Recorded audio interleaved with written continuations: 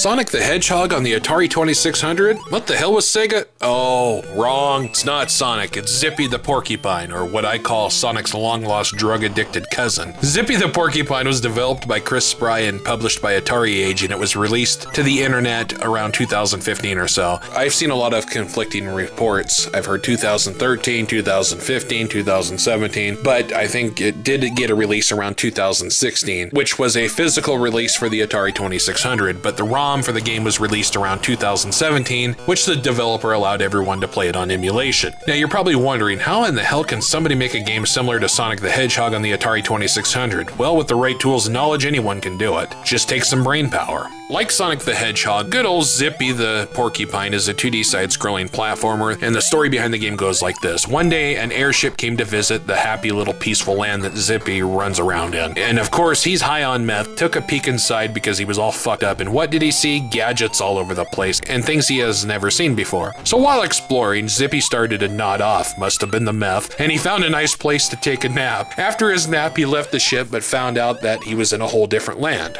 What happened? The ship took off while he was sleeping and brought him to a new place. He then noticed someone exiting the ship riding in a small air vehicle. Some dude with a mustache, overweight, probably smelled like fucking cheesy fries, and all that shit. Zippy then found five powerful crack rocks, I mean gems, from his homeland, and Zippy must get them back to the homeland and return them to the rightful place before it's too late. So basically, it's Sonic the Hedgehog with a different name. Except you are not saving small little animals because when you're fucked up on meth, okay, this joke overstated its welcome. There are 16 levels in Zippy the Porcupine across four different zones, and those zones are Cave, Star, Aqua, and Hill zones. There are five boss battles as well. Not only that, there is even a bonus level which you can collect coins. Like in Sonic the Hedgehog, a lot of the levels you will beat them by flipping a sign. Once you collect 100 rings, you will earn an extra life. You can collect coins, and if you get hit, you lose them. You get power ups too, like the shield, and of course, the invincibility for a moment power up. You can spin dash, jump, and run your way through the levels.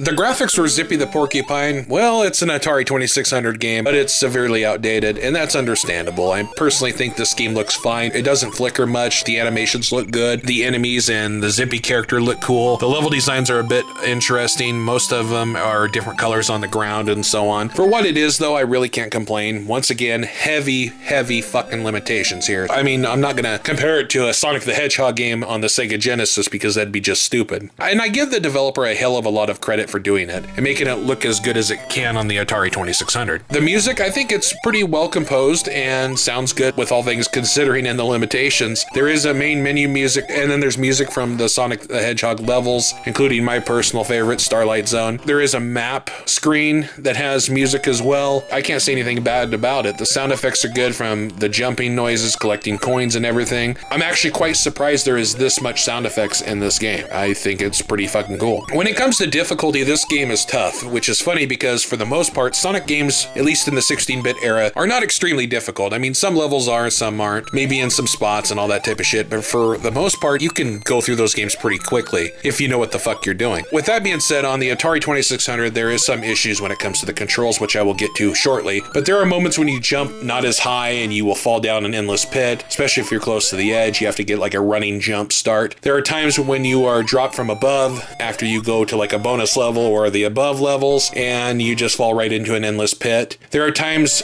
where you get close to an enemy and the hit detection is off and that's just really frustrating after a little while. But I think the biggest flaw would be the controls in this game and I'm going to talk about those now. Sure, moving around and jumping and all that is easy. It's just the jumping over shit and jumping over endless pits. And like I said, you have to get a running start and sometimes you just don't jump as high and it can get frustrating. Granted, the game is playable, but you really need to pay attention to what you are doing. Some levels will allow you to blast right through them and some you're going to have to watch where you're jumping and where you're running. Zippy the Porcupine is pretty cool, especially with the limitations the game has. I think it runs pretty good, and granted, I'm playing this on emulation, so there might be glitching, flickering, and all that shit on the actual physical release, but for what I see here, the game is fun, even with the flaws that it has. The graphics are cool, the music is nice, same with the sound effects. Sure, the game is tough, especially with the hit detection and the random dropping you in ridiculous spots, and the controls are the the biggest flaw of this game with how they are a little bit slow at responding when it comes to jumping over shit and all that. The movement part isn't so bad, it's just mainly the jumping. Sure, this game is not perfect, but it is playable and it's fun. And if you're a fan of Sonic the Hedgehog, you're gonna love the shit out of this, pure and simple. Now, if you want to pick it up for yourself, you can find a ROM out there. Just do a Google search, and if you want a physical version, it's $30 on Atari Age. Personally, I'd say the price needs to come down to about 15 to $20, but really 30 isn't horrible. I've seen homebrew games go for some really fucking ridiculous prices. I personally would love to see more sequels of this game, maybe one on the Atari 7800, and then maybe on the NES, Super Nintendo, and make a long running series. But I think it would get to the point where Sega may step in and get shitty about it. But then again, they are pretty nice about fan games and homebrews. They're not too picky about it like Nintendo is. I understand why Nintendo does this, but at least Sega is a bit lenient on it. I hope you enjoyed this review of Zippy the Porcupine for the Atari 2600. Thanks for watching.